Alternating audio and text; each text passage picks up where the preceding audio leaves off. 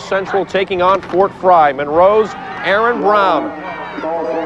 30-yard touchdown run, 12 carries, 108 yards for Brown tonight. 8-0 after the two-point conversion. Monroe's quarterback Josh Ishii can run it, can pass it. This time he decides to run it. Two carries, 37 yards for Ishii. There's a good chunk of them there.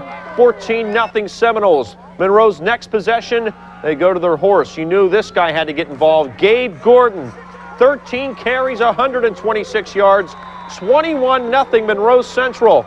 But they're not done. First possession, second quarter, Tyler Graham. He takes it in for the touchdown. We go to the scoreboard. Monroe Central still undefeated, 40 to nothing. They win that one. Keep it in.